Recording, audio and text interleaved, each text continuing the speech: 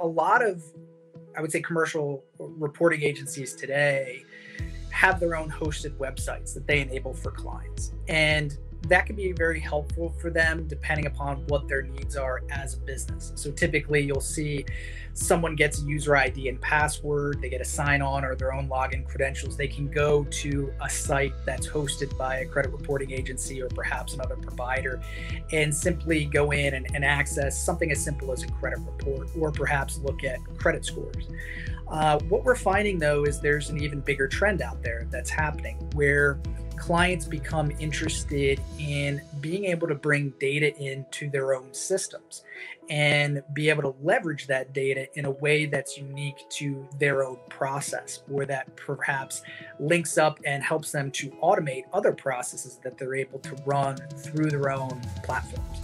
So, a great example, you could look at something like Salesforce uh, or any type of customer relationship management software or an ERP type system where they can go out and bring in data. And from a portfolio management standpoint, which we're sort of focusing on with this particular session, where clients have a whole uh, portfolio or an existing client base that they're trying to manage risk on, and they may have that data stored within their own whether it's an accounts receivable system, their own CRM, wherever that may be, one of the things to keep in mind is that you can go out now and use technologies such as APIs to bring that data in house and perhaps to append it to the existing information that you have. And because it's within your own homegrown system, uh, there are serious advantages to that. You don't have to worry about another login credential to go in and, and, and perhaps access that information. It's really right there in your own workflow, in your own work streams.